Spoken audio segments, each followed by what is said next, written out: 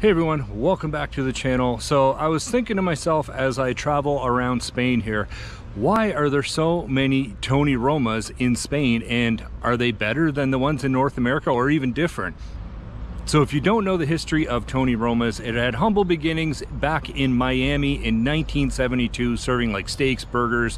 It was kind of like a little grill. And then through the 80s and 90s, it absolutely exploded.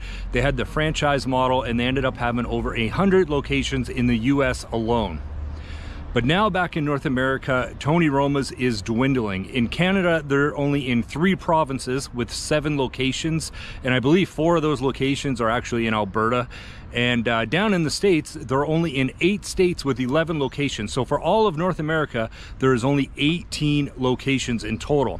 Now here in Spain, they have 27 locations, which to me is crazy that they have more locations than all of North America, especially when you consider the population. The population back in North America is probably 370 million people here and in Spain there's only what like maybe 48 million and they have 27 locations versus our 18 so as their numbers dwindle in North America, it seems their international franchises flourish. They have spots all over the world. I think they're in like 19 countries or something like that, like Australia, Panama, Guatemala, um, the UAE, Mexico, and many, many more.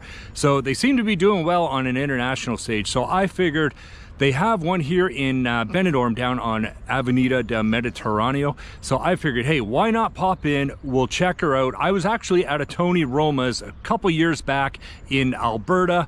I kind of remember what it was like. So I thought, let's head down to Tony Roma's, get some ribs, get an appetizer, get a cocktail, and we'll compare it and rate it. So just getting out of Tony Roma's, uh, I ordered a margarita, which wasn't too bad. I'd give it probably a 7 out of 10. It's your pretty typical standard uh, chain restaurant margarita. And then I went with what they call Tunyon rings. Back home in North America, that is the famous onion loaf. It's like seasoned fried onions, densely packed with some sweet barbecue dipping sauce on the side. Give that maybe eight, eight and a half out of 10. Not too bad. Uh, hit the spot. And then I went with the famous baby back ribs. They are definitely fall off the bone super sauced uh, really sweet bourbon sauce on them though not my kind of style of ribs i prefer like a dry rubbed smoked rib uh, with like a bit more bite to it but overall not too bad i'd give them an 8 out of 10 for a chain restaurant they're they're pretty good now i will say though the quality of the food over here in spain surpasses what I've had in the, like the last couple years. I think I visited one in Edmonton maybe a year and a half, two years ago. So overall, the Spanish Tony Roma's is definitely better than the North American one. Few uh, menu items missing though, like you can't get the baked beans and there's some other stuff that are that is not on the menu. But overall, um, not a bad option for a chain restaurant. So definitely beats out the North American version. Anyways, thanks for tuning in. Hope you enjoyed the video. We will see you in the next one.